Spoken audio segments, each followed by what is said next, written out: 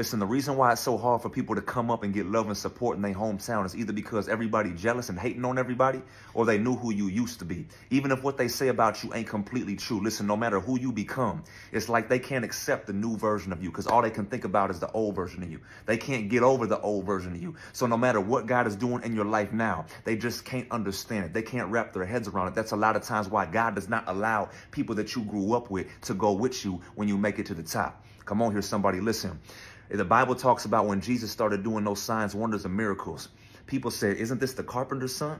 Isn't he this? Isn't he that? And it goes on to say that a prophet is not without honor except in his hometown. So listen to all my chosen people out there. Do not get discouraged just because people from your hometown do not accept you or support you.